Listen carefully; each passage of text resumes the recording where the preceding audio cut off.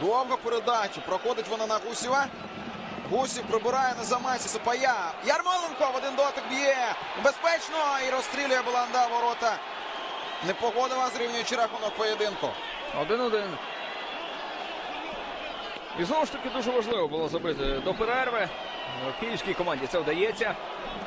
Тобто, вже у другому таймі цього панічного стану, напевно, що не буде. Давайте подивимося. Також довга передача від Макаренка. І Гусів зробив половину роботи у цьому епізоді. Сапая обіграв. Передачу виконав. Класно зіграв Ярмоленко. Ну і тут дивись, не було жодного із а, опорних півзахисників. Лише два центрбеки. Ніхто не страхував. Курілова не було у цьому епізоді. Чесноков був, але він е, не був готовий. Два на два.